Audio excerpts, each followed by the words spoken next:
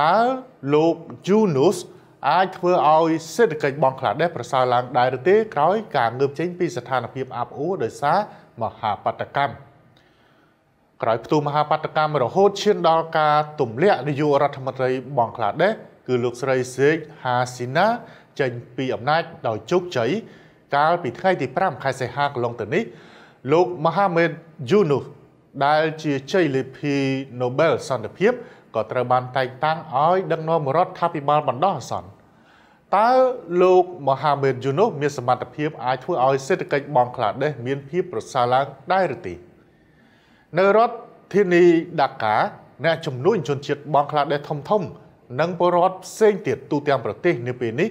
កំពុងមើលឃើញពលឿនអនាគតថ្មីប្រកបដោយក្តីសង្ឃឹមខ្ពស់នៅមុនពេលផ្ទុះបាតកម្មប ង់ក្លាដេសដែលមានប្រជាជនសរុបប្រមាណ171លាននាក់នេះត្រូវបានដឹកនាំក្រោមកណ្ដាប់ដៃដែករបស់លោកស្រីហ្សេកហាស៊ីណា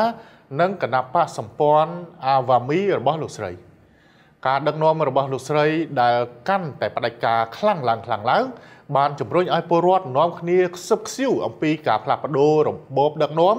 ស្របពេលដែលសេដ្ឋកិច្ចរបស់ប្រទេសមួយនេះកំពុងដាំក្បាលចុះកាន់តែខ្លាំង ប៉ុន្តែបន្ទាប់ពីព្រឹត្តិការណ៍បាតកម្មដែលដឹកនាំដោយក្រុមនិស្សិតទម្លាក់លោកស្រីសេកហាស៊ីណាចេញពីអំណាចដោយជោគជ័យប្រទេសបង់ក្លាដេសនៅពេលនេះគឺថាមានរដ្ឋាភិបាលបណ្ដោះអាសន្នក្រោមការដឹកនាំរបស់លោកមហាមេតយូនូសដែលជាម្ចាស់ជ័យលាភីពានរង្វាន់ Nobel សន្តិភាពរួមជាមួយក្រុមសកម្មជនមិនចូលបកសម្ព័ន្ធបញ្ញវន្តនិងក្រុមមន្ត្រីចូលនិវត្តន៍ រួមទាំងអតីតប្រធានធនាគារកណ្ដាលបង់ក្លាដេស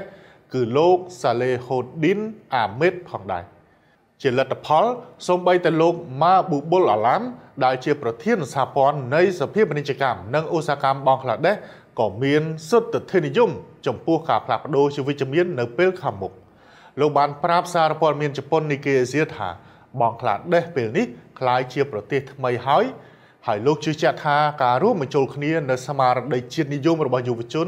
និងអធិពលរបស់លោកមហាមេតយូនូនៅលើឆាកអន្តរជាតិនឹងអាចជំរុញឲ្យសេដ្ឋកិច្ចរបស់បង់ក្លាដេសមានភាពប្រសើរឡើងលោកម៉ាប៊ូបុលអាឡាំដែលនាំចេញដែកថែបនិងបង្គាហើយនាំចូលគ្រឿងបរិខាវិទ្យាសាស្ត្របានទទួលស្គាល់ថារឿងដ៏ចាំបាច់ដែលត្រូវធ្វើជាបន្តនោះ គឺការរក្សានៅស្ថិរភាពសេដ្ឋកិច្ចជាតិនិងការស្ដារមុខមាត់របស់ជាតិបង់ក្លាដេសនៅលើឆាកអន្តរជាតិក្រោយពីការបង្ក្រាបយ៉ាងព្រៃផ្សៃដែលបណ្ដាលឲ្យមនុស្សជាង400នាក់បាត់បង់ជីវិតនាអំឡុងមហាបាតកម្មទម្លាក់លោកស្រីសេកហាស៊ីណាចេញពីអំណាចមហាបាតកម្មដឹកនាំដោយក្រុមនិស្សិតបានធ្វើឲ្យសេដ្ឋកិច្ចបង់ក្លាដេសរងការខាតបង់យ៉ាងធ្ងន់ធ្ងររួចមកហើយ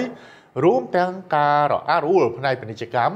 សេវាព័ត៌មានវិទ្យានិងការនាំចេញនៅសម្លៀកបំពាក់ផងដែរដោយសារការខាត់បងត្រូវបានប៉ានប្រមាណថាអាចមានទំហំលើស10,000លានដុល្លារអាមេរិកឯណោះរដ្ឋាភិបាលបណ្ដោះអាសន្នថ្មីនេះប្រឈមមុខនឹងថ្មបាក់ធំធំជាច្រើនរួមមានការធ្លាក់ចុះនៃទុនបំរុងអន្តរជាតិព្រមទាំងអតិផរណា និងអត្រាគ្មានការងារធ្វើរបស់យុវជនហក់ឡើងខ្ពស់ផងដែរ។ ទោះជាយ៉ាងណាគេឈ្មោះដ៏ល្បីរន្ទឺនិងចាក់ខុវិស័យវែងឆ្ងាយរបស់លោកមហាមេតយូនូដែលជាជ័យលាភីពានរង្វាន់ Nobel សន្តិភាពសម្រាប់សេដ្ឋកិច្ចសង្គមផ្ដល់នៅក្តីសង្ឃឹមយ៉ាងមុតមមថា ប្រទេសបង់ក្លាដេសនឹងមានអនាគតដ៏ភ្លឺស្វាង។